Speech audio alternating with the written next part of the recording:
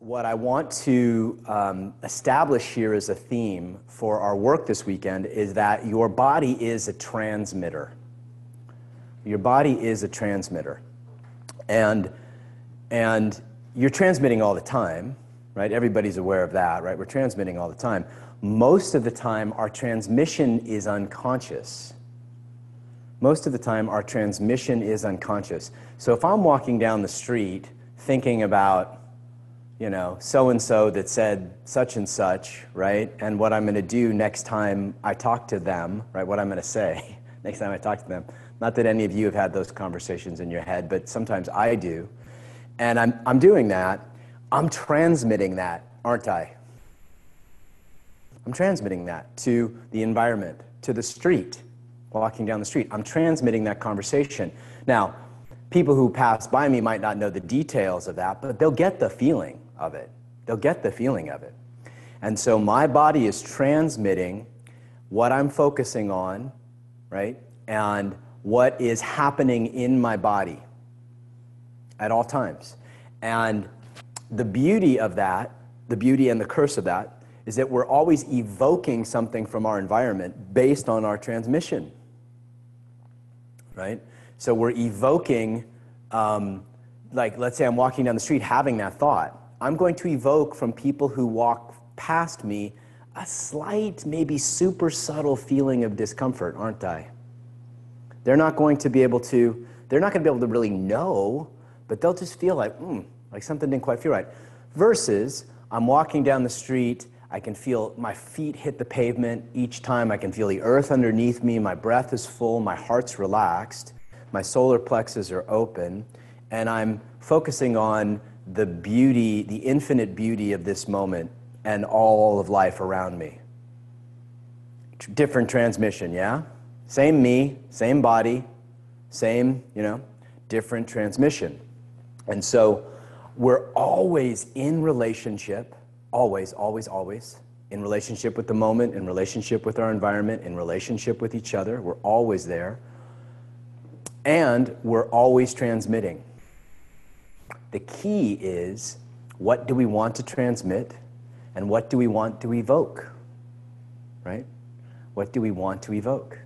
Um, the men this morning worked on uh, sort of depth, presence, and consciousness. Right? Well, depth, presence, and consciousness tends to evoke trust and devotion. The women were working on various energies of devotion or heart expression, things like that, even anger, right? That tends to evoke certain things from a partner. So, you know, some of you have been with me before. I'd say probably half of you have been to workshops before. Um, some of this might be new, but your body's a transmission. Now, all right, your body's always transmitting, okay? and your body's and you're always evoking from the environment okay so now we bring in these concepts of masculine and feminine polarity masculine and feminine polarity right and if we're here this is irregardless of gender. This is irregardless of gender. Let's just talk about these as energies.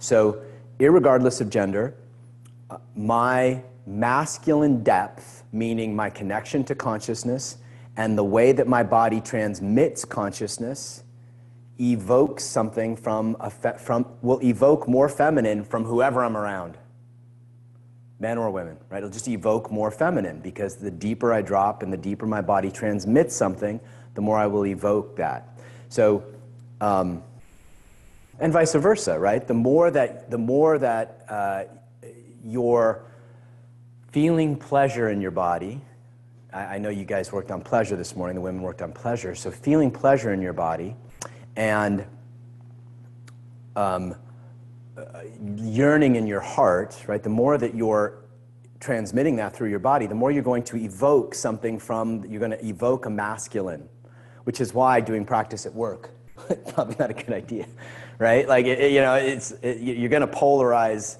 every masculine being in your workplace. So women will ask me, how can I bring these practices to work? Please don't. This is for intimate space only. Um, not unless, you know, it's a very liberal, loose workplace. So we're always evoking. And now we get to choose, and hopefully what you guys are going to leave this weekend with is a whole bunch of skills and, a, and, and some, some skill sets to be able to choose how you want to, what you want to evoke and what you want to transmit so that it can be a choice. There's lots of times when we don't want to transmit shit. I'm going to transmit couch potato. I'm going to transmit totally zoned out, absolutely don't bother me, right? That's my transmission. But I'm doing it consciously. I'm doing it consciously, right? I, am okay, don't, baby, don't bother me. I'm, I'm just, you know, it's uh, baseball season's going to start again. There's my transmission. Don't bother me. I'm a couch potato. But it's conscious.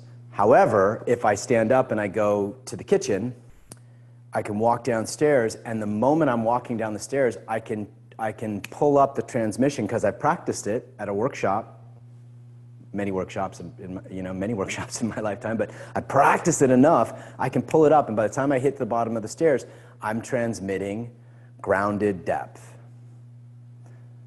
right? which my partner will feel and will make her feel better. Right? So I want to I want to really you know, I want all of you to leave here. Now I'm going to ask you what you want, but I'm just going to give you what I want first and then see see how that fits for y'all. But what I want you guys to do is leave here with the, the, the understanding that you can transmit whatever you want. There is nothing, nobody is, I mean, short of like you're, you're, you're getting assaulted or arrested or, you know, something, you know, attacked by a bear, short of that, you're pretty much free to transmit what you want in your life. You could walk down the street transmitting Samba Queen, right? You could walk, you know, into your office transmitting um, you know, devotional priestess if you wanted. You can transmit whatever you want, right? Nothing stopping you from transmitting. Not your partner's lack of presence, not your partner's complaint, not nothing stops you from transmitting what you choose to transmit into the world.